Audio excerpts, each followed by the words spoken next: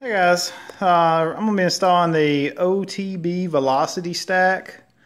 Uh, just got it used from a fellow and just kind of getting started here. And as you can tell I pulled the cover off of my, and I'll show you this. I pulled the cover off of my airbox here. It's uh, seven screws total. Mounts it there like that. One here at the bottom, don't forget that one. And this filter is nasty. I mean, this filter is the nastiest thing I've ever seen. I don't even want to touch it. I'm going to pull it out here. I know it's hard to see. It's dark. But you see this metal screen on the back? If you remove that metal screen, it will flow better. Just from that. And I mean, this thing is greasy. And it looks like, I know it's hard to tell. Um, there's where my velocity stack goes. Now, what holds it in place is still a little confusing.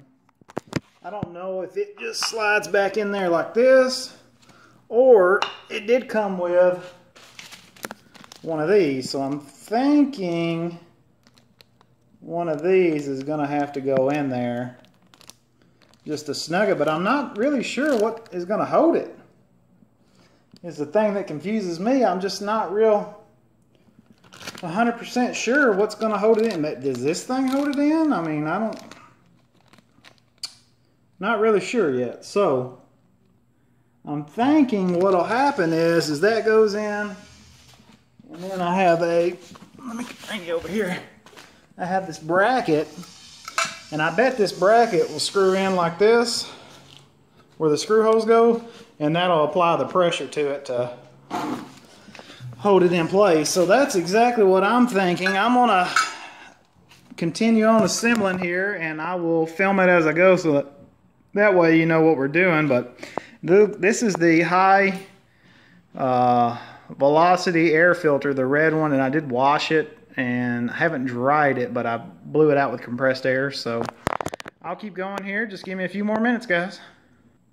Alright guys, what I did here is I took this screw, this nut a little loose above it to give me some swing room here to see how it goes. So I'm still working on it here and let me get the product in there and we'll see how it uh, turns out. I think I figured it out. So what you got to do is pull the cover off and you take your four screws and it screws that in. I know it's hard to tell. I'm trying to give you guys the best picture I can and that ring in here just goes backwards so it just sits flush up against the other one. I figured it would be a perfect fit but it's it just kind of sits flush so let me keep going here and I'll be right back with you. Alright guys so moving along apparently you've got to pull your fairing off because and this is all up in the way this is touching I am not real impressed so far with the fitment of it. So let me pull my fairing off so that way I can get to this bolt that's completely up underneath there. You see how it tucked in there? So anyway, I'll be right back with you. Uh, so moving along here, I had to pull the panel off. It's like basically, I feel like I'm reading Braille as a blind person trying to put this on. It's that bad. And no offense to anybody that's blind. But now I got it going. You know, I, I just I worry about the fitment. These people, I don't understand how the how it wouldn't have been a much smoother ordeal. You know. And then look at that screw I got to put in right there.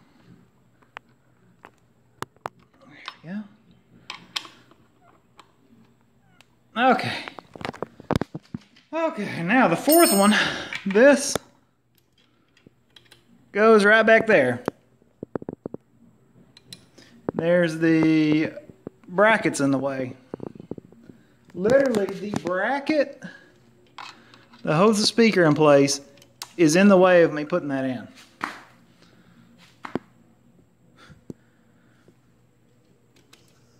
I don't know if I trust it with three out of four. Let me see what I can do, guys. I'll be back with you. Okay, so I've moved the horn out of the way. This bracket is welded to the frame. Check this out. Oh, don't mind me, guys. Oh, what are you doing today? Oh, I'm just trying to install this. Oh, that's crazy. There's no way. There's no way to get that bolt in.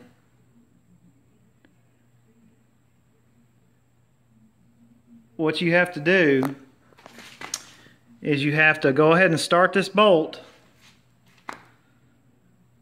slide it into it, and then tighten it down, which I don't know how you'll ever get a wrench back there to tighten that down.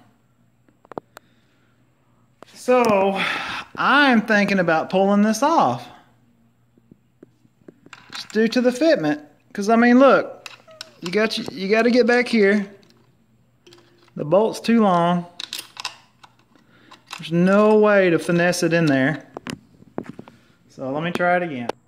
Okay guys, so I have pulled the filter off and there's still not enough room. So what you need to do to assemble this is completely disassemble this whole setup.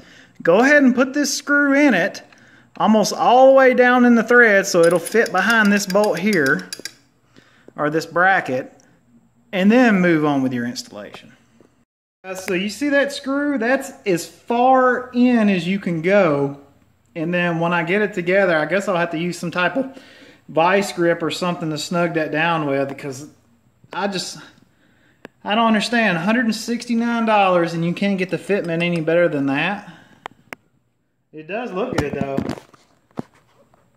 I mean, it looks amazing, but the fitting, come on now. Sorry I'm complaining, guys. Just a little aggravated. I've been out here an hour on this, and they said a 15-minute install is what they said. 15-minute install. Well, maybe so if it went together and came apart and blah, blah, blah. I don't know. So, I got it somewhat. Still can't adjust your valves with this cover on. No way you'll get that cap off. Can't even get the nut off of it. So let me get the filter on and then we'll fire it up and see what it sounds like. Okay, so got three out of four bolts tight. This one here, I don't really know what to do with that one. So let's come on over here to the toolbox. World's smallest tweezers. Maybe, maybe. I don't know. Let's see. Let's start out with medium ones. Okay.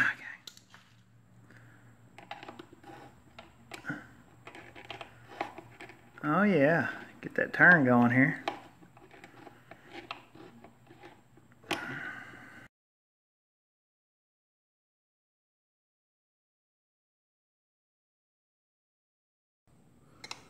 Still can't get it in there.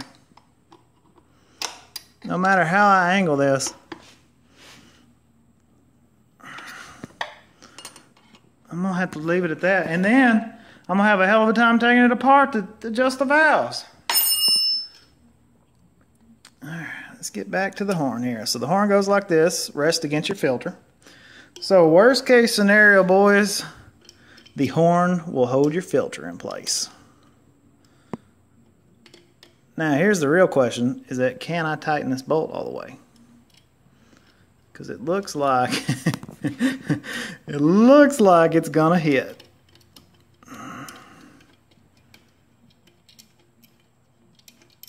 And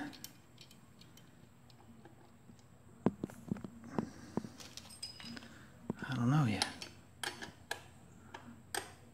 Come on, baby.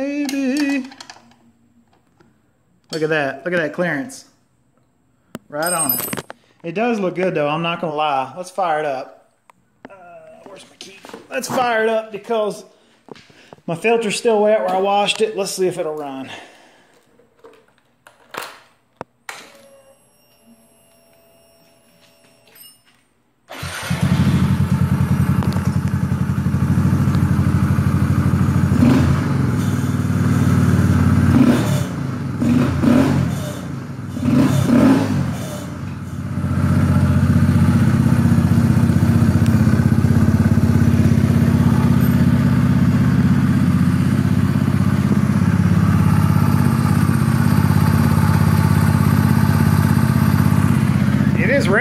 Better for sure. And the filter's wet too.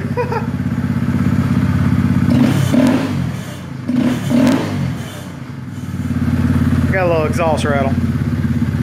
I don't know, I'm pretty impressed so far with the rev. Rev's a whole lot better and I can hear a little air moving. Anything's better than this. This setup here is just for 8 horsepower. So, all right, boys. So what I'm to do now is I got it all assembled. I'm to upload this video. Please don't forget to like and subscribe if you can. And uh, I'll put about 100 miles on it, and I'll do another video uh, review. Thank you.